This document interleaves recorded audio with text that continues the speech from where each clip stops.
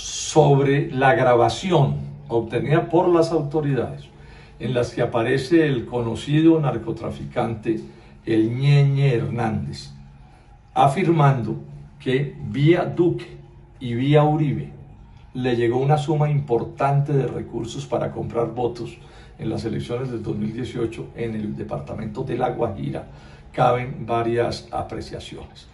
Lo primero es que pues, es bien grave la sola grabación, la sola grabación. Pero además hay una cosa que hay que señalar también y es que hay distintas fotografías en que aparece una cercanía del presidente de la República con él y en las grabaciones también aparece esa cercanía. Y ha contado la silla vacía que lo que ocurre es que los padres de Ñeñe Hernández y de Iván Duque fueron amigos hace muchos años y ellos de niños o de muchachos pasaban vacaciones juntos en alguna finca en Valle Dupar. Entonces, más razones para que el presidente Duque dé explicaciones y para que las autoridades investiguen, porque estamos hablando de hechos gravísimos.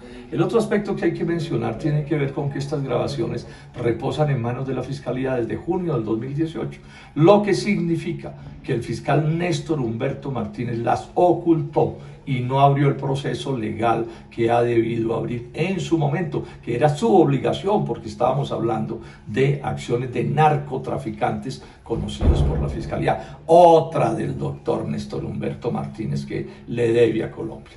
Y por último, digamos esto, es un desastre, tiene que estar muy mal un país para que un personaje como estos pueda andar en la cúpula del poder económico y político, pavonearse con todo el mundo en una de las principales ciudades de Colombia, aquí mismo en Bogotá, y eso no hubiera sido controlado ni impedido por las autoridades colombianas. Definitivamente están destruyendo a Colombia. Los mismos con las mismas cada vez se inhabilitan más para gobernar este país si lo queremos sacar adelante. Parte de sacar adelante Colombia tiene que ver con que este tipo de desastres, de desvergüenzas no nos sigan ocurriendo.